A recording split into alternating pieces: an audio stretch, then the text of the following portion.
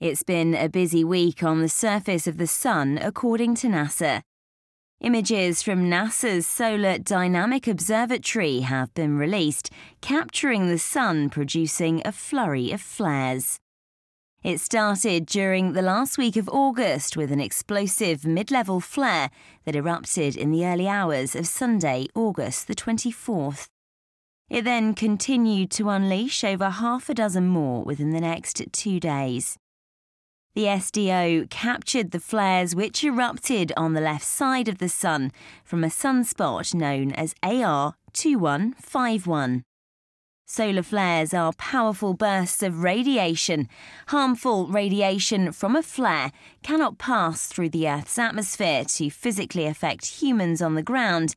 However, when intense enough, they can disturb the atmosphere in the layer where GPS and communication signals travel.